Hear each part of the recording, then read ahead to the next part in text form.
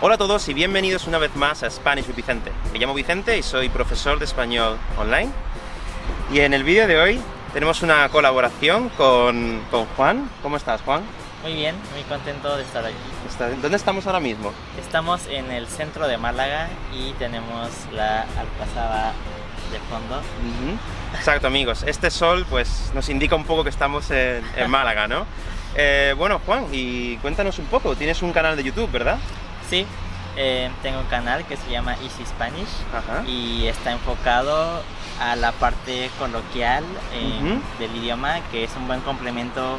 Los videos que hago son un buen complemento para estudiantes que están tomando clases de español porque nos enfocamos como en la parte informal, en las expresiones que utilizamos en el día a día Ajá. y hablo con las personas de México y ahora de España en las calles y hablamos de temas cotidianos y utilizan lenguaje que utilizan en su día a día.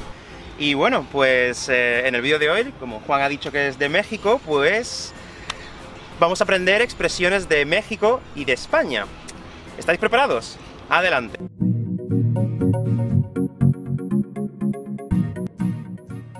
Bueno amigos, pues vamos a grabar un vídeo de expresiones eh, de México y España, pero es que también en el canal de Juan, en Easy Spanish, hemos grabado otro vídeo también. ¿De qué es el vídeo, Juan? El video que hemos grabado para Easy Spanish eh, son reacciones de Vicente utilizando expresiones de emoción y de enojo que utiliza diariamente y le he puesto situaciones hipotéticas ante las cuales tiene que reaccionar.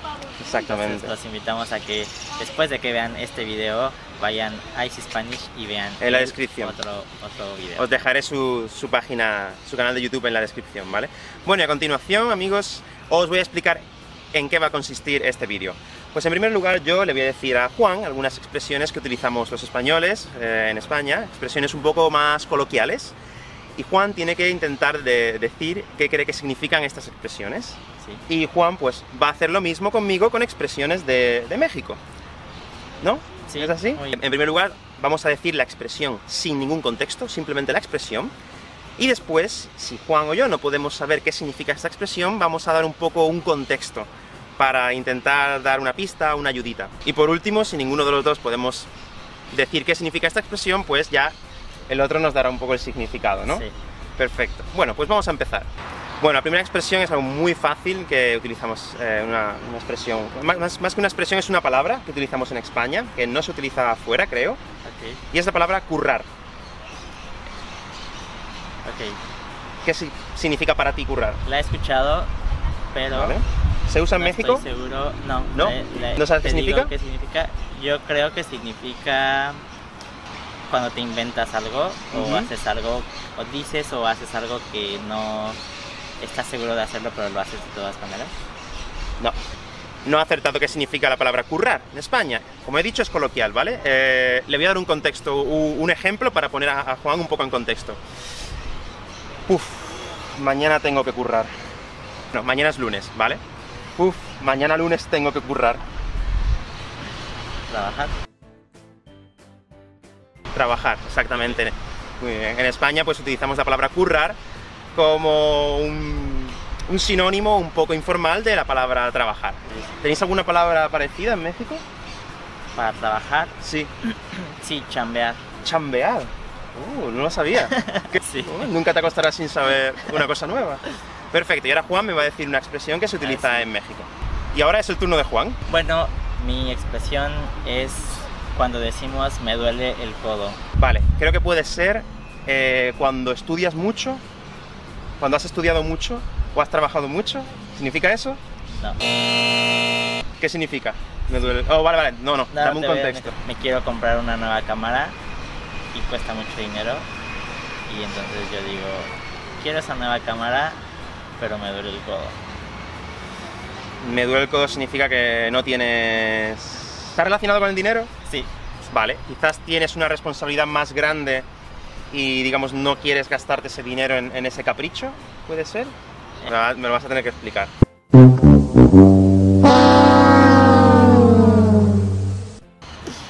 He Pues- he, perdido, ¿vale? sí. Pues es muy cerca de eso. Lo único es que tienes el dinero, pero no lo quieres gastar porque eres muy tacaño. Ah, o sea, me duele el codo significa que eres tacaño. Sí. O sea, si yo le digo a un amigo mío, eh, estamos cenando o tomando unas cervezas o algo, y digo, venga, paga tú que, que tienes mucho dinero. No, no, me duele el codo. Sí. ¿Cómo te va a doler el codo? ¿Sabes? O sea, eso sería eres un tacaño, ¿no? Sí. Muy bien. Vamos a por la segunda ronda. Bueno, la segunda expresión que le voy a decir a Juan quizás va a ser un poco más difícil que antes, aunque antes le ha costado un poco, y es descojonarse. Según yo, significa como ¿Qué significa? ¿Qué quieres? caerse de risa o morirse de risa. Sí. Lleva razón. Descojonarse es reírse mucho. Por ejemplo, cuando algún amigo tuyo se cae al suelo, porque somos, somos muy malvados, te descojonas. Juan juega un poco con ventaja porque ha estado por España, entonces conoce un poco, pero vamos a ver, ahora es el turno de, de Juan. La siguiente expresión em, mexicana es dar el avión. ¿Cómo? Dar el avión. Cuando yo te doy el avión o tú me das el avión, ¿qué significa? Voy a tener que poner mis expresiones más difíciles, ¿eh?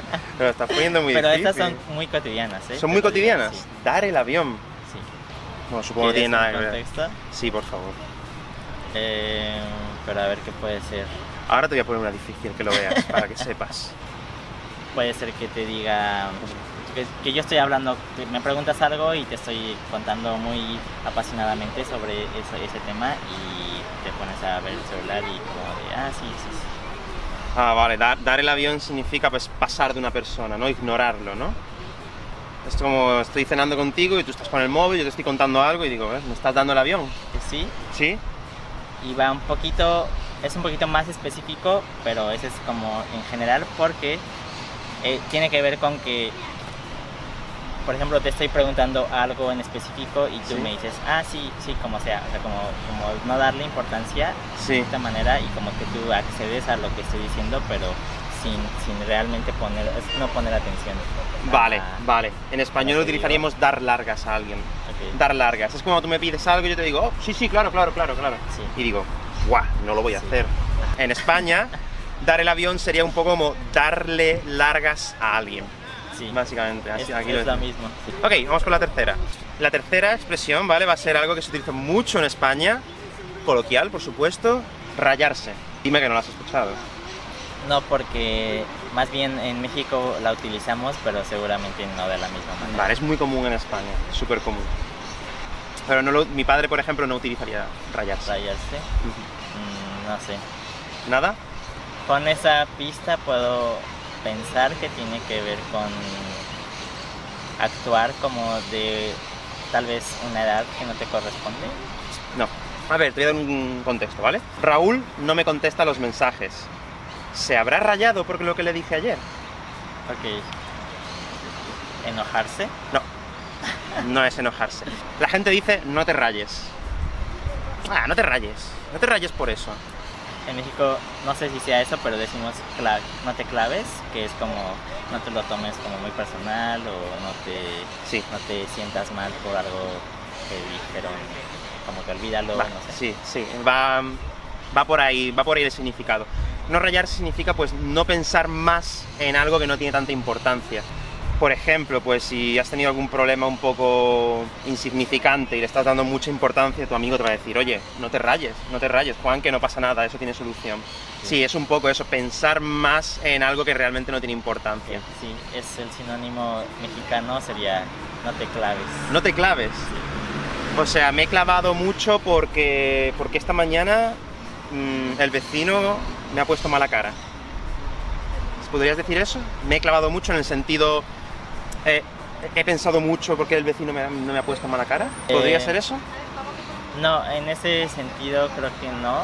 Que a lo mejor yo digo, ay, eh, pinche, bueno, Pinche, ah, sí, te entiendo, te entiendo, te entiendo. como pinche vecino, no sé qué, como que, Vale. me- como que sigo todo el día con ese tema y ese tema y ese tema y a lo mejor estás conmigo todo el día tú y me dices, ay, ya, no te claves. Nah, sí, No es un, no es- personal. es un sinónimo, sería un sinónimo de, de rayarse, ¿vale?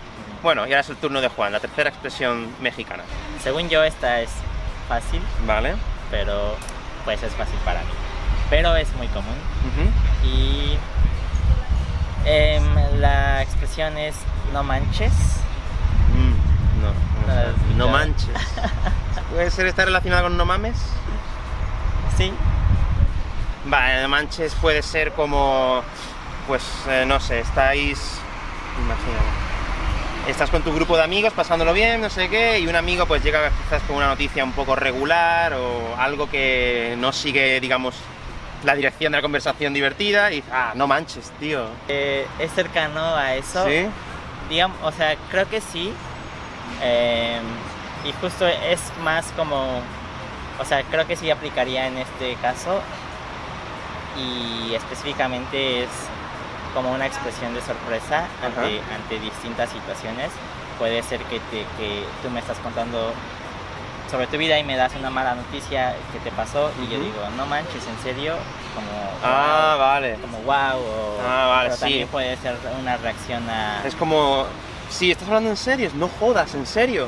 Sí, en español diríamos no jodas. o veo una oferta muy impresionante, interesante para mí, Vale. digo, no manches, Sí. voy a comprar eso ahora. Sí, en España utilizaríamos no jodas, Ok. en el aspecto de no manches. Sí, Sí. qué bueno, muy bien. Bueno amigos, y esto ha sido todo hasta hoy. Eh, Juan me ha, me ha enseñado tres nuevas expresiones eh, de México y yo le he enseñado, bueno, él ha podido adivinar algunas, a otras tres expresiones que utilizamos en, en España. Y bueno, si os ha gustado el vídeo, no olvidéis darle un like súper grande y por abajo os voy a dejar el enlace al canal de, al canal de Juan y tampoco olvidéis suscribiros a Spanish with Vicente. Justo por aquí está la campanita. Bueno, Juan, ¿tienes algo que decir antes de terminar? Nada, que me la pasé muy bien y Sí, yo que también. estoy disfrutando de España. Perfecto. Pues eso es todo amigos. Hasta luego. Nos vemos.